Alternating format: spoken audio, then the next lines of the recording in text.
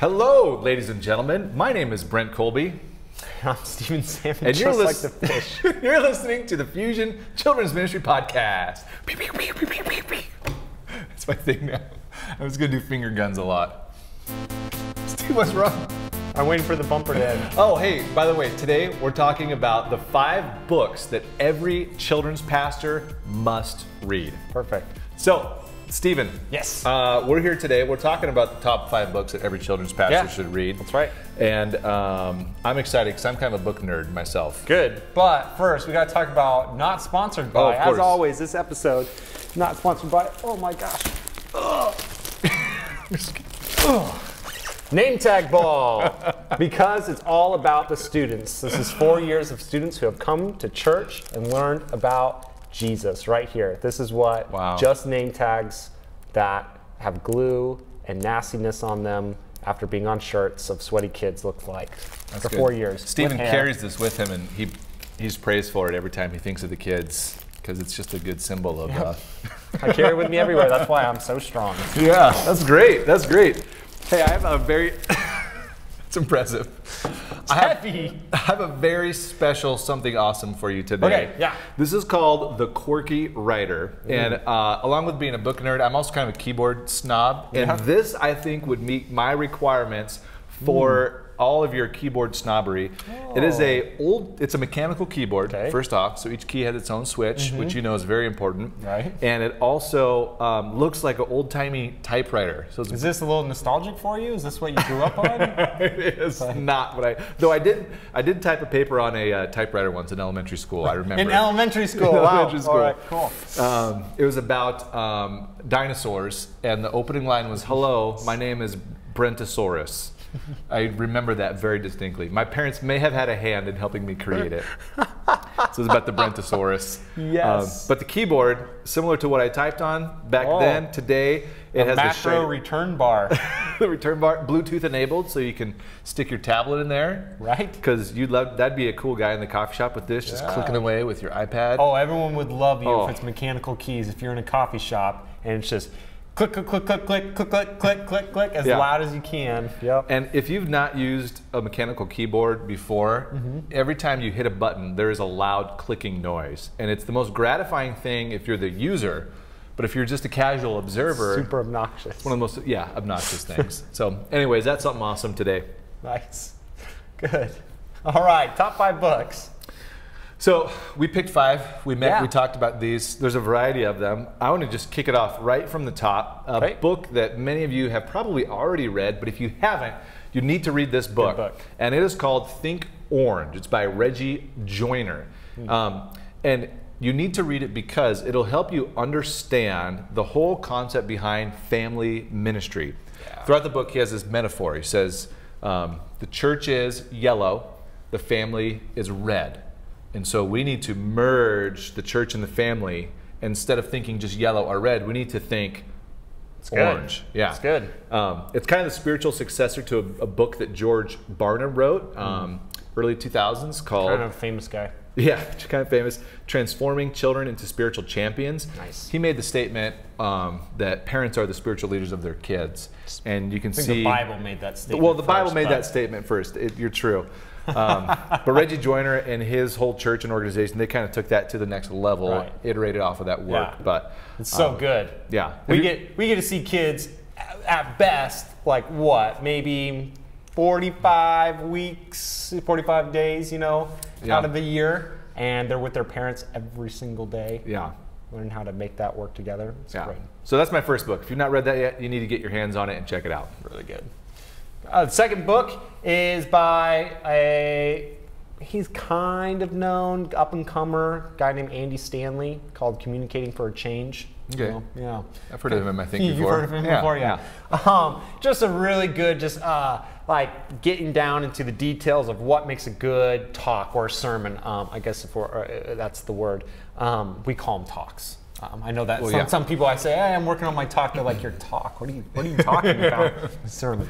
Um, what, what it looks like, and you can adapt that to work with kids in any group, but it's how to make it rememberable and what, what people actually are looking for and give some real clear outlines and guidelines on how to do it well. Yeah. So Is that a children's ministry book? not n- not particularly, not necessarily, but you can adapt it for children's ministry uh, fairly easily. Again, knowing your audience, he talks about that a bit and how, Yeah. to, how to build that. But it's just a good, just a really practical book on how to communicate and from stage really well. And if you're big into trucking metaphors, Yeah. also a great read. if you're into the great hyperbolic, you know, stretched out trucking, it's good. It's good for those of you who fit that audience. Um, okay, the next, the next book? the next book on our list. This is the nerdiest book of all of them, I think. Okay. Um, maybe the most academic.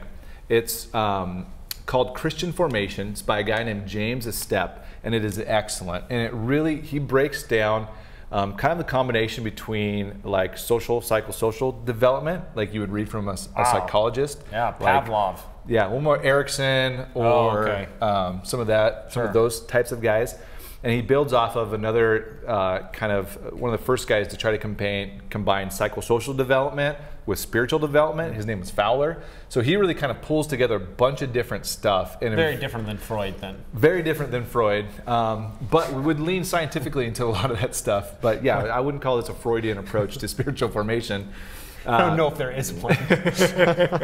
it's uh, it's a great book if you just want to understand the fundamentals of spiritual development. Yeah, How do people grow up as Christians? And I think so often we get sucked into the curriculum and the outline and all this sort of stuff.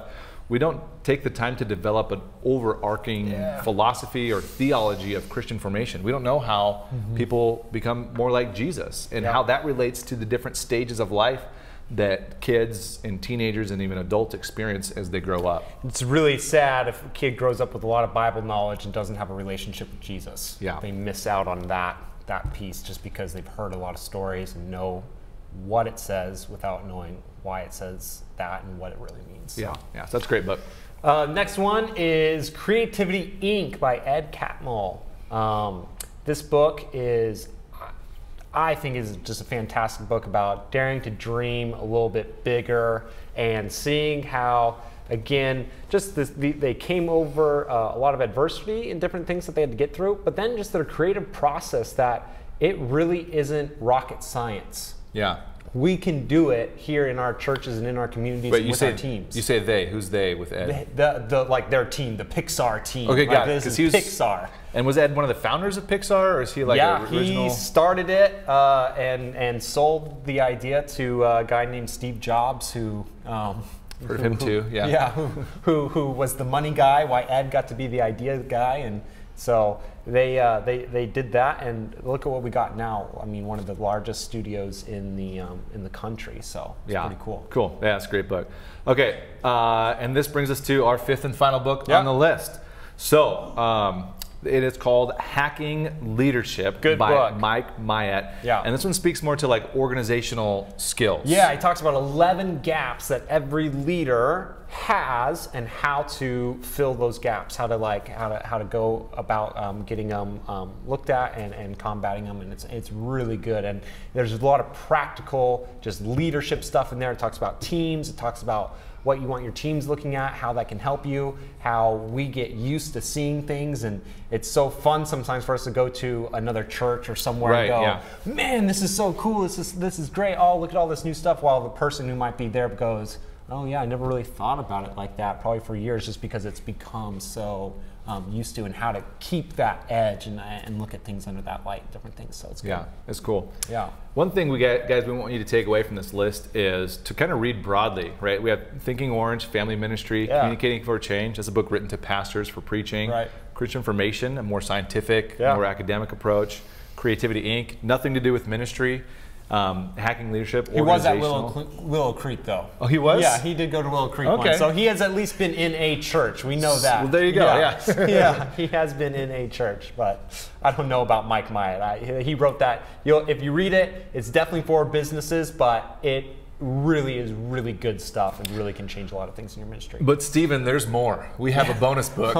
Hey, come on down. Uh, I feel like I'm talking like Brent Covey now. Bonus book number six by a guy named John Acuff. A book Oh. we agree this belonged on the list, but it didn't fit our top five because who Yeah. has a top six list? Right. It is the book we both love called. Yeah, stuff Christians like. It's how would you describe this book if you've not read it? before? Amazing. It's amazing. It's brilliant. You need to read it, and I think it helps us. Uh, He's a PK who gets it. uh, we all we all get it. And sometimes we get so focused in on the ministry and the different things that we're doing that we miss some of the funny things that we can just laugh at. Uh, you know, and, and realize that we are we're also people. We're pastors, but we're people too, and, and we're in ministry, but we can laugh and we can have fun and, and enjoy kind of some of the nuances and different things about all this stuff. It's good. Yeah, yeah. If you're easily offended, maybe don't get it. Yeah. If you have someone in your ministry that is easily offended, it would be funny to give it to them. If nothing else, it's for the the, the rocket ship of uh, faith like a child is worth it for like of how to how to get any out of out of any uh, sort of weird hard questions. Someone might uh, faith like a child. it's good. You gotta check it out. So, awesome. Well, I don't know. To also pull from that book though, Brent. This is a top six list, but we might do a little Jesus juke here. Oh. Yeah, another book. A bonus you- bonus? yeah, a bonus bonus, as you say. If you haven't read it yet, the Bible That's is good. probably the most That's important good. book. Like, That's good. To keep it really spiritual and keep it in there, Yeah. the Bible, God's Word.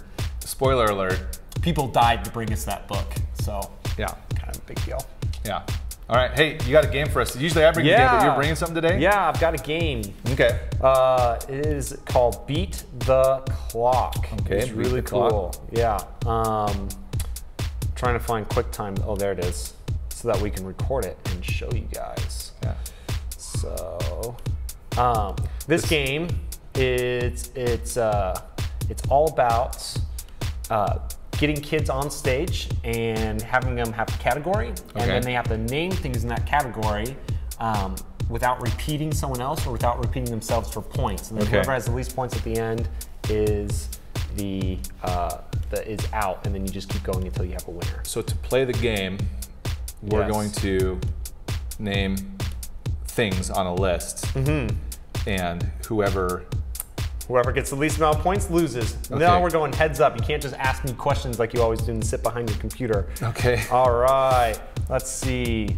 Uh, animals that can swim. Okay. Perfect. So we're naming as many animals as we can swim back and forth. As many animals that can swim back and forth. How, Yep. 45 seconds? Yeah.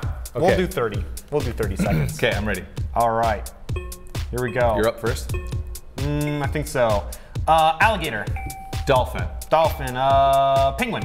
Shark. Crocodile. Whale. Seal. Polar bear. Uh, fish. Dog. Cat. Mouse. Regular bear. Snake. Snakes. They can swim. Oh, dude, I'm dominating you. Bird. Monkey. Monkeys can't swim. they can. I thought that's the whole thing with monkeys. They can't swim. They're afraid of water. Have you seen Planet of the Apes? they won't go in the water. Hold monkeys on. can't swim. Great, can we pull I up? win. Take all those points no, no. away. I could. We can show you The whole photographic thing evidence. Planet of the Apes is like I remember the old one. They're like I will not swim. Planet of the Apes is your is your source. It's science. they look so realistic. Hey, uh, as we as we end, we'd love to know of any books that you read that you love that you think children's pastors must read. And also, great, can we pull a picture up of the some monkeys in Japan just kicking it in a hot spring or a hot tub, just to show that monkeys do like to swim. And with that, I'm Brent Colby. I'm Stephen Salmon. We will see you next time. Thank you.